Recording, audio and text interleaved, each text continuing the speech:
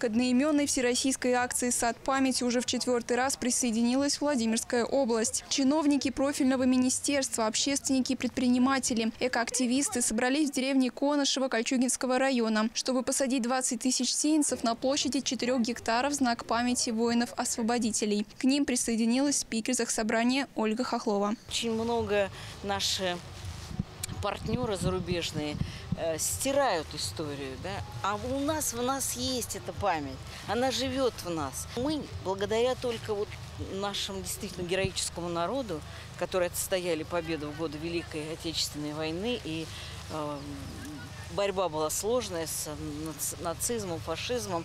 Вот благодаря этому мы развиваемся.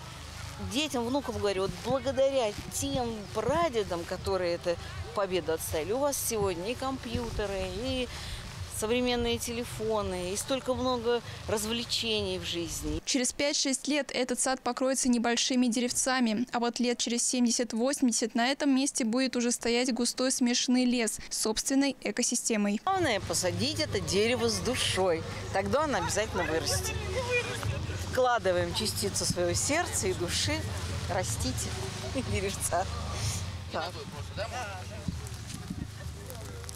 Акция входит в общий подход региональных властей по компенсационной высадке деревьев. И в этом показателе наша область уже несколько лет находится в лидерах. Выполнение плана по лесоснарядию у нас составляет 101-103%.